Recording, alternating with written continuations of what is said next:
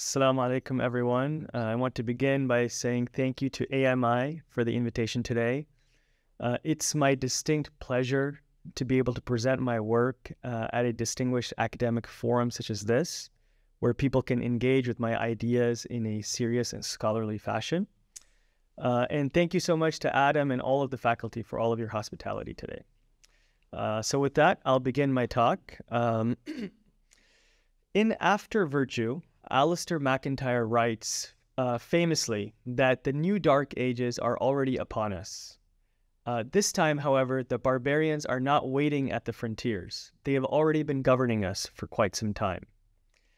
MacIntyre's forceful argument uh, in favor of restoring the Aristotelian tradition of virtue ethics in the modern political system and his analysis of what has been lost with the advent of modernity have fundamentally reshaped the state of contemporary moral and political philosophy in the West.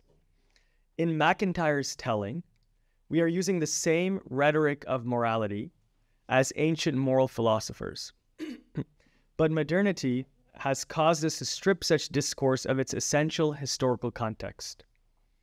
Because MacIntyre believes that mankind has undergone a fundamental rupture in conceptions of the self and society, relegating the historical context of the rhetoric of morality to utter irrelevance poses a significant problem. Moral consensus in the modern age is impossible because individuals disagree on even baseline assumptions. This was not the case in the past, where even though people disagreed on how to pursue the good life, there was a consensus that the good life was connected to what was best for society. Who exactly are these barbarians that are governing us? We live in a world where the Western neoliberal economic and political project is considered sacrosanct. The Western system of governance is deemed so superior by certain players that it warrants intervention into the affairs of other countries, even if that means war and utter destruction. MacIntyre's argument is powerful because it challenges the arrogance of the presupposition that Western moral and political frameworks adequately exemplify, the highest ethical ideals. In fact, MacIntyre suggests that under modern conditions, it is impossible that any ideals are being followed or adhered to in a systematic manner. This is because, as Wa'il Hallaq, a prominent Western scholar of Islamic law, has astutely observed, central to modern philosophy is the question of why be moral? A question that presupposes a particular state of affairs in which consciousness of the moral as a distinct, distinctive, and integral category takes center stage, and where the moral is not to be taken as a matter of course. This is part of the genealogy that MacIntyre also draws our attention to. Morality today has been relegated to a private concept whereas in ancient society, it was part of the public fabric of society. The extent to which this vision of a polis governing individual behavior existed can be debated, but it is by and large a strongly defensible position that prior to the Enlightenment, morality was not a concept that was disconnected from tradition and society. In the pre modern Islamic context, Hallaq claims that it was the common understanding that the Sharia constitutes the path to the good life, a path that claimed to guarantee well being in this world and in the hereafter. Since the implication, which remains no more than that, that morality come law possesses a teleology whose very fulfillment is their own raison d'etre. I think that's how you pronounce it. Hallaq undoubtedly espouses an overly generous view of pre modern Islamic societies and fails to acknowledge that the Sharia that he speaks of did not transcend the political and legal realities of governing an empire. But his perspective is a starting point for my own paper. I take seriously the contention that we are living in a world where we pay lip service to morality but have all but abandoned the sociological backdrop necessary to pursue the good life. My project in this paper is to explore the work of another giant of modern philosophy, who shared many of MacIntyre's insights, but preceded him by about two decades and wrote for an Arabic speaking audience. At the age of 24, Muhammad Baqir as Sadr, who would go on to become one of the most intellectually productive clerics in the history of Shi'ism before his assassination by Saddam, wrote Falsafatuna, or Our Philosophy. For those who don't know, a brief biography of Muhammad Baqir as-Sadr is in order. As-Sadr was assassinated at age 40. At the end, at the time when As-Sadr was writing, the ideology of communism was thre- threatening to capture a large segment of Shiite followers in Iraq. Because of a majority of Iraq's population at the time was extremely poor, the classless society propagated by communist leaders appealed to them immensely. In fact, communism was so popular that many of the relatives of prominent clerics joined the communist ranks. Whether the clerics themselves saw communism as a direct threat to their control over the people or as an anti religious dogma, the religious leaders of Iraq, Sunni and Shia alike, fervently opposed communism. As-Sadr's tract is a powerful argument against modernity and Western philosophy, especially capitalism and communism. Like MacIntyre, he too engages deeply with the Western philosophical tradition, including the works of Plato, Aristotle, Descartes, Locke, Hume, Kant, William James, Hegel, Marx, and Freud. As-Sadr believed that morality has been stripped of any role in the modern political order. I want to put As-Sadr into conversation with MacIntyre because both thinkers believe that a return to the Aristotelian tradition is necessary for establishing justice for humanity. Both are also highly critical of modernity, although the analytical lens of each differs slightly. MacIntyre views the modern world as the embodiment of Nietzschean thought, whereas As-Sadr engages more deeply with the work of empiricists and Marxists to make sense of where we are and how we got here. The two philosophers also differ in that As-Sadr believes religion is the best way to capture the Aristotelian spirit, whereas MacIntyre, despite his lauding of the religious tradition, is not so explicit in his argument. It is for this reason that I believe it is, it is fruitful to explore the work of, of As-Sadr in conjunction with that of MacIntyre. As-Sadr's work is especially noteworthy because he actively worked to establish what he wrote about. In 1958, As-Sadr was involved with the founding of the Ad-Da'wa Party, an underground organization formed in response to the communist mood taking hold of the country and which later attracted many anti Baathists after the Ba'ath Party rose to power in 1968. The explicit objective of the Ad-Da'wa Party was to organize dedicated Muslim believers with the goal of seizing power and establishing an Islamic state. As I will detail further, As-Sadr believed that Islam offered the solution to many of the problems that were unsolvable by capitalism and communism the two dominant political philosophies during the time at which he was writing. His proposal is sparse on practical details, but the argument is interesting for us because he engages directly with an Aristotelian version of ethics.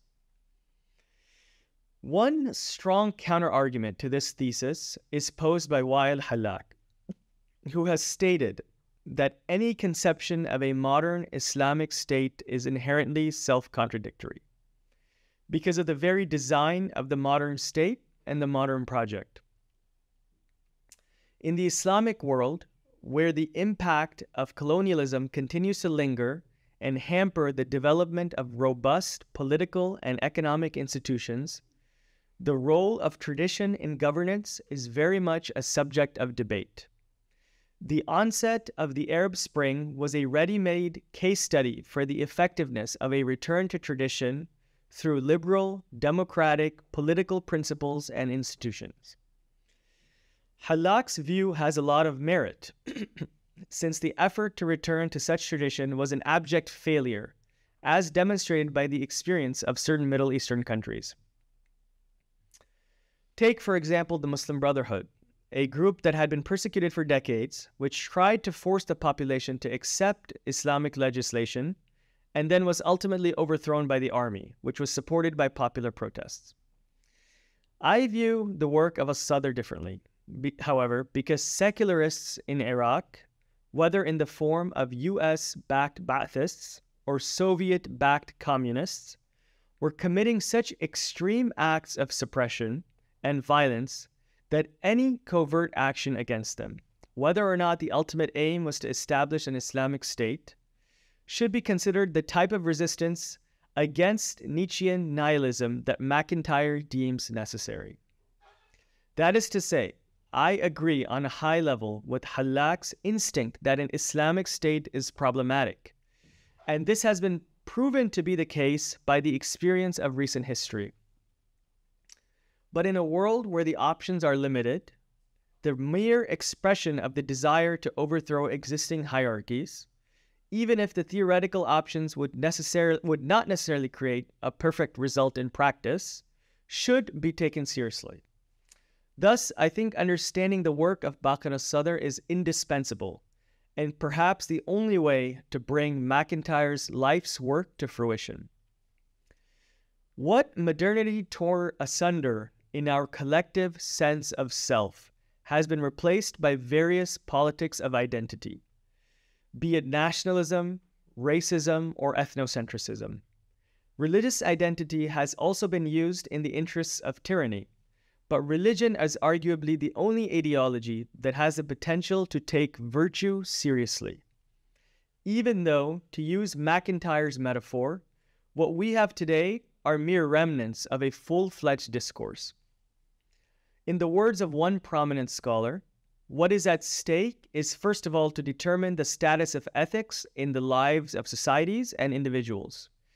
As uh, our, sorry, what is at stake is first of all to determine the status of ethics in the lives of societies and individuals. Are our respective ethics no more than a body of principles that we must protect away from the world? Or are they references through which we try to live coherently in our private and public lives? So, putting MacIntyre and Muhammad Baqir al-Sadr into conversation, it has become particularly fashionable among modern Muslim reformists to speak of an Islamic system that prioritizes the higher objectives of the law in order to conform Islamic positions with modern conceptions of human rights, with modern conceptions of human rights. Instead of rejecting the paradigm of modernity, these reformists have co opted it. Perhaps the most elegant proponent of this view, with a perspective that fails to challenge the legitimacy uh, of presuppositions of modern moral, moral values is Abdullah An-Na'im, a distinguished professor of law at Emory University. In his Islam and the Secular State, uh, Na'im writes that, quote, as a Muslim, I need a secular state in order to live in accordance with Sharia, out of my own genuine conviction and free choice. Personally, and in community with other Muslims. End quote. His argument is twofold. One, that the modern state as it exists, uh, sorry, that the modern state exists as it is, and thus Muslims should accept it and work within it. And two, a secular state is non ideological and thereby provides individuals with the flexibility to believe as they wish, thereby fulfilling one of the purposes of the Sharia, that is to say, belief in religion without compulsion. An-Na'im, An-Na'im's is an argument that is surprising for its treatment of secularism. Far from being non ideological, secularism is in fact a very particular way of looking at the world. In privileging civic reason the state is automatically deprioritizing other values. Hallaq offers a much more sophisticated critique of the modern project, one that draws heavily from MacIntyre. He notes that the modern state comes with its own arsenal of metaphysics and much else. In contradistinction to this, he dreams of the pre modern Islamic system, where a, paradig- where a paradigmatic moral, legal ethic reigned supreme. This too is a fiction, as pre modern forms of governance were beset with their own problems. The care for its citizens that Hallaq imagines was present in the pre modern system uh, is easily disproved by a cursory examination of the historical record. And yet, there is something to be said about the role of religion in inspiring virtue. To this end, I believe that examining the work of as-Sadr is critical because he has put forth a sophisticated philosophical argument for such a system. As-Sadr begins his book by critiquing the capitalism of the West. He states that capitalistic democracy is based on unlimited confidence in the individual and in the fact that the individual's personal interests naturally ensure the interests of society in various areas. The idea of a society that governs the role of the individual has been completely flipped. Instead, it is now the flourishing of the individual that is deemed to be indicative of societal flourishing. Under this system, a good state is that organization that can be used for the service and for the sake of the individual, and that is a strong instrument for protecting his interests. MacIntyre labels this state of affairs emotivism. That is to say, all moral judgments are nothing but expressions of preference, expressions of attitude or feeling, insofar as they are moral or evaluative in character. Such a way of appreciating morality, MacIntyre notes, leads to a society where there is no moral consensus, and thus social relations become a matter of using each other as a means to fulfill personal agendas. As-Sadr is dismissive of the notion that serving the individual is actually a way to serve society. As-Sadr's ultimate solution of an Islamic state tries to proactively counteract many of these tendencies. As-Sadr does not label our current way of navigating the world as emotivism, but his notion of a unified religious perspective certainly recognizes the problem of a society where moral values end up being expressions of arbitrary choices made by the individual. Both MacIntyre and As-Sadr believe that a system of morality must be anchored to a structure and a tradition that serves as a guidepost. Building on his critique of the placing of the individual before society, As-Sadr notes that the flourishing of the individual has no further discernible purpose, or telos. He states that capitalism is a philosophy which leads people to separate themselves from their source and final end. This is, of course, substantively the same argument that MacIntyre makes. One of the maladies of modernity is that our lives are no longer connected to the fulfillment of some higher end. Each of us should aim to elevate from man as he happens to be to man as he could be if he realized his essential nature. Without a purpose guiding our actions, we live in a world we live in the world of Nietzsche, where morality is just a front for our individual desires. This system is akin to a train moving forward without any sense as to where or why it is going in that direction. As-Sadr is also highly critical of the political and economic hegemony found in modern society. He states, for example, that democracy tightened the reins of power and influence for a new group of rulers that replaced earlier ones, and adopted the same social role played by their predecessors but used a new style. In other words, As-Sadr is skeptical that liberal, democratic societies really conduct their actions in accordance with the principles they verbally espouse. Whereas a scholar like An-Na'im, mentioned above, uh, believes that secularism is completely neutral, As-Sadr, belie- As-Sadr sees it as a cover for more nefarious ideologies. This is very similar to the view of MacIntyre, who wrote that politically, the societies of advanced Western modernity are oligarchies disguised as liberal democracies. The large majority of those who inhabit them are excluded from membership in the elites that determine the range of alternatives between which voters are permitted to choose. and the most fundamental issues are excluded from the range of alternatives. Going one step further, MacIntyre argues that modern politics is civil war carried on by other means. There is little to no concept of a shared common good. MacIntyre was thinking in terms of domestic politics, at least in the examples he cited in his book, After Virtue. But As-Sadr was writing from a larger international relations perspective. His own experience as a resident of Iraq, which had experienced much destruction at the hands of various US backed regimes, i.e., regimes that had the support of a democratic country, demonstrated to him very clearly that human society lacks a shared conception of the good, largely because of how capitalism privileges the individual over society.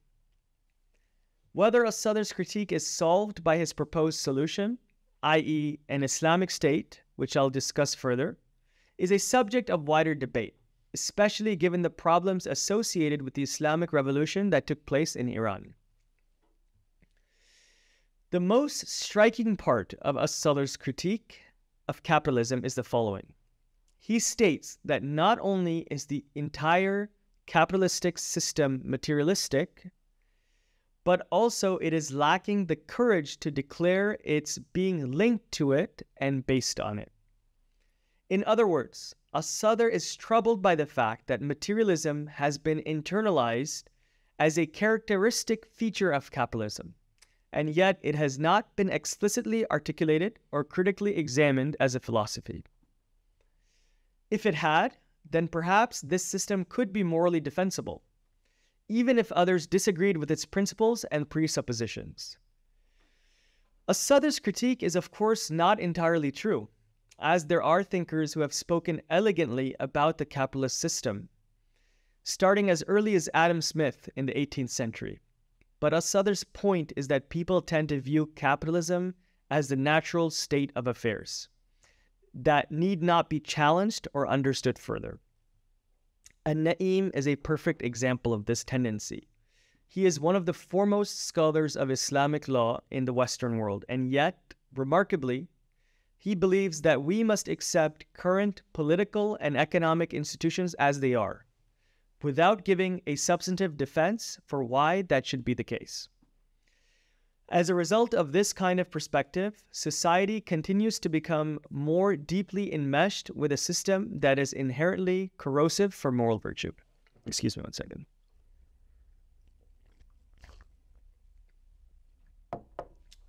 As-Sadr's next target of criticism is communism uh, and is actually also the impetus for the writing of his book.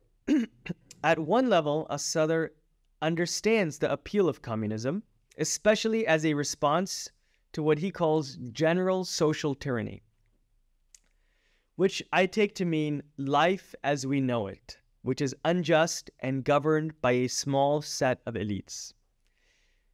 He is also appreciative of the fact that communism is based on a specific materialistic philosophy which adopts a specific understanding of life.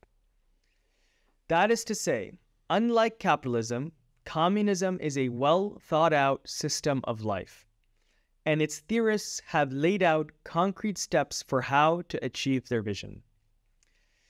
Ultimately, however, As-Sadr sees communism as one, deficient in its approach, and two, solving for a problem that does not exist. he begins his critique by tackling the fundamental underpinning of Marxist theory the replacing of private ownership with, with societal ownership. He states that communism does not work in practice because it is contradictory to the incentives of human nature.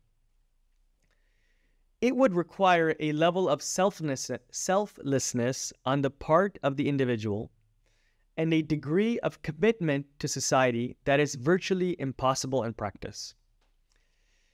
Individual feelings would have to be replaced by what he calls social feelings. This is especially impractical in a world where people have no concept of an afterlife. So they are motivated to accumulate material interests in the, in, in the immediate term.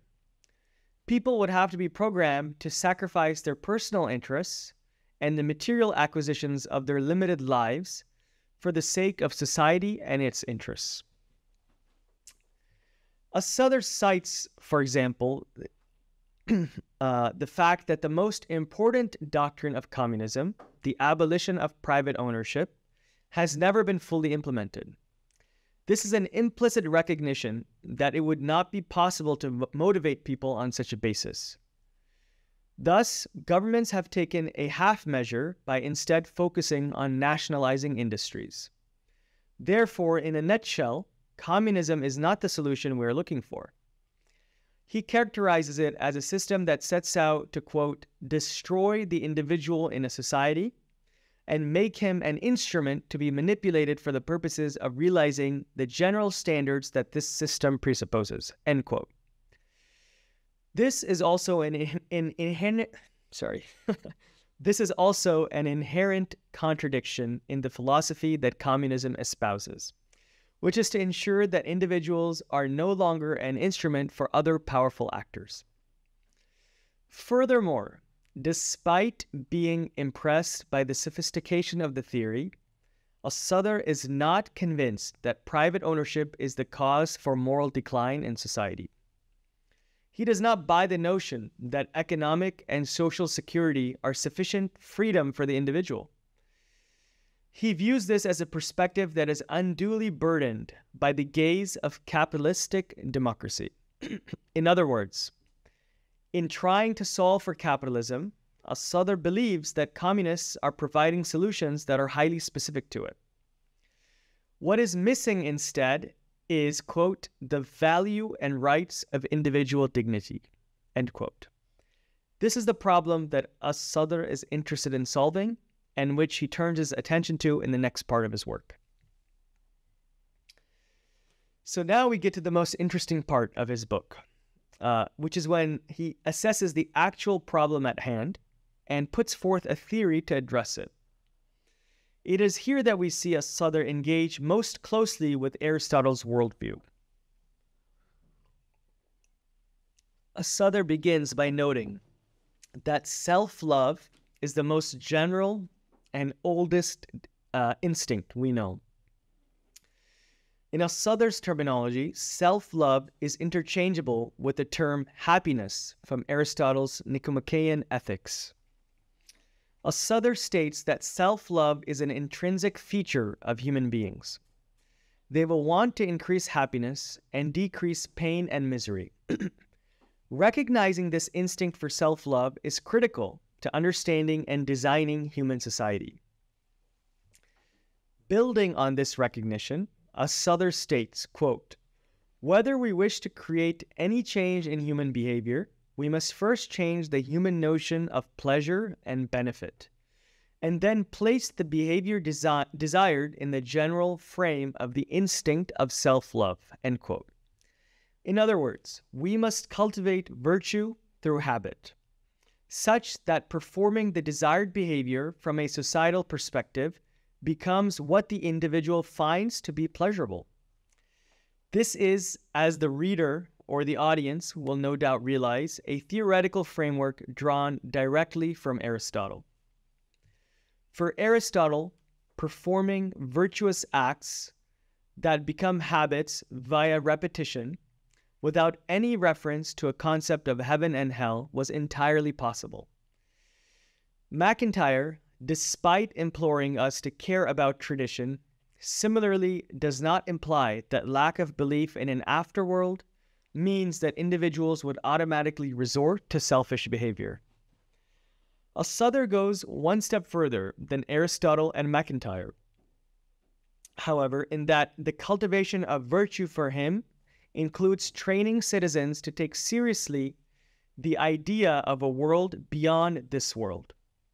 For As-Sadr, the natural inclina- inclination for materialistic behavior, as evidenced by capitalist societies, is so strong that religion is necessary to act as a counterbalancing force.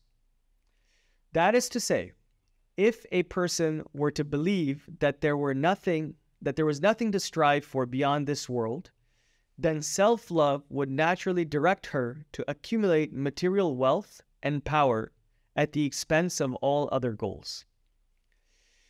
This is a fascinating extension of the Aristotelian framework, particularly because it is so pessimistic about the nature of humankind. It is distinct from MacIntyre's reading of Athenian society, where individuals believed that their self value came from their participation in the polis. For MacIntyre, because social participation was so crucial, failing to uphold one's social role would in itself be considered a moral failure. As I will detail further, As-Sadr also sees societal contribution as integral to moral virtue. But his starting point is that individuals are naturally selfish and need a built in corrective to modify their behavior, which for him is religion. MacIntyre, on the other hand, would probably argue that it is modernity itself, rather than an ingrained characteristic of humankind that has made us selfish. As-Sadr's proposed solution, which he frames as, quote, the proper treatment of the problem, end quote, is an Islamic system. The solution, in a Souther's words, is to develop people's materialistic notions of life. That is to say, people need to be properly trained to understand how to live, which Islam teaches. For As-Sadr, Islam radically redefines how life is understood.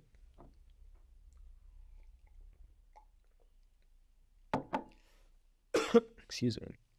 He engages in a rights based discourse whereby each individual is provided with spiritual and material dignity, in contradistinction to a society that caters to individual whims, i.e., capitalism, or uses the individual as a mechanical tool in the social system, i.e., communism.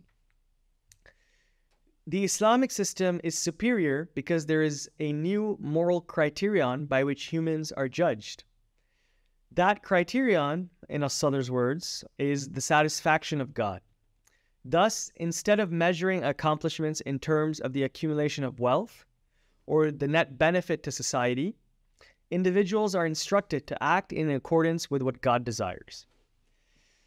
As-Sadr sees religion as a great unifier of the new moral criterion, i.e., the satisfaction of God, and the principle of self love that is inherent to human nature. Eschatology plays an important role in this perspective. Religion allows human beings to understand that one's efforts in this life results in one achieving happiness in the second life that is proportional to his efforts in this limited, limited life to attain God's satisfaction. Thus, two problems are solved at once.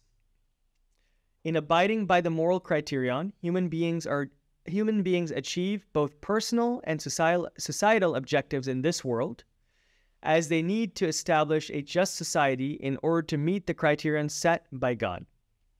Linking natural self interests with societal, societal interests uh, is, in As-Sadr's view, not possible in an ungodly society. Because in a worldview where, in the words of Augustine, the earthly city is the be all and the end all, individual interests will often be at odds with societal interests.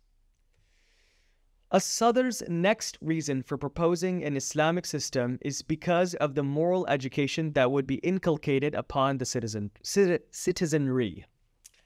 As-Sadr was not proposing a concept of education in the Socratic sense. That is to say, Sadr did not believe that the root of all vices is ignorance, and that once people are taught the correct way, they will change their behavior. Rather, he believed that spiritual inclinations and their dispositions need to be cultivated. Otherwise, man will naturally gravitate toward material wants and vices. This focus on spirituality is a distinction that is not made by Aristotle or MacIntyre. Certainly, Aristotle did not believe that only spiritual virtues need to be cultivated. His theory of the mean applies to all areas of life. What would such an education look like? As-Sadr states that the infallible leadership provided by God gives humans sufficient instruction for such an education. This is, of course, somewhat of a fiction in that the education provided by God requires intermediaries in the form of human beings. And this is where most of the differences and conflicts are, that arise in the world come from. But anything beyond this is left unsaid in his book, and probably for good reason, as it is difficult to imagine that there would be any consensus on such a system. But perhaps what As-Sadr had in mind was the educational system that he advocated within the Shi'i seminary. He found his own clerical training to be outdated, as it engaged little with modern subjects. For this reason, he proposed reforms so that clerical students were exposed to a wider variety of subjects and were required to undergo university style coursework and examinations in conjunction with their theological training. Based on his views discussed thus far and the educational reforms he proposed, one can reasonably hypothesize that, that his ideal educational model would be a mix of secular and religious subjects, as well as a practical component to translate theory into action. Ultimately, As-Sadr believes an Islamic state is the best way forward because it makes certain moral values become desirable to people. As a result, the very nature of self love dictates the pursuit of desirable moral values. MacIntyre's proposed, proposed resolution of the modern condition is different in the details, but conceptually very similar. MacIntyre, like As-Sadr, believes that the modern capitalistic system must be tackled head on and fundamentally disrupted. Both thinkers also find some merit in the communist system, although As-Sadr is more for- forceful in his assessment of its limitations. MacIntyre ends his book by stating that we are waiting for another Saint Benedict, a Catholic saint who is considered the founder of Western monasticism.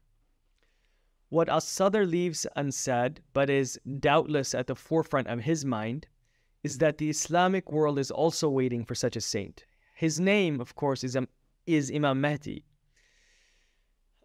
uh, a figure in Shi'i theology who is believed to have been in hiding for over 1100 years and will return at the end of days in conjunction with Jesus to restore justice on earth. So, Four centuries before the advent of Islam, a Christian author from North Africa asked, What does Athens have to do with Jerusalem? I end this talk by similarly asking, What does Athens have to do with Najaf? The answer, it seems, is quite a bit. Muhammad Baqir as-Sadr, one of the most well respected modern philosophers of the Islamic world, is unfortunately virtually unknown in the West. Yet engagement with his works shows that this is a tremendous loss for Western philosophy. As-Sadr is fluent in the language and discourses of the West and has much to say about how to address the state of disorder in modern morality. In this paper, I have tried to juxtapose the views of Muhammad Baqir as-Sadr with those of Alasdair MacIntyre, as both thinkers provide us with new ways of approaching morality through engagement with the Aristotelian tradition of virtue ethics. Ultimately, their views diverge in that As-Sadr sees religion, and more specifically, a modern state governed by religious values, as the best way to solve for the materialism that is endemic to our society. Whereas MacIntyre advocates the creation of independent communities which disavow modern political institutions as much as possible. Thank you for your time. Thank you so much, Mehdi. Um, we have quite a bit of time for some, uh, uh, I can get a sense some um,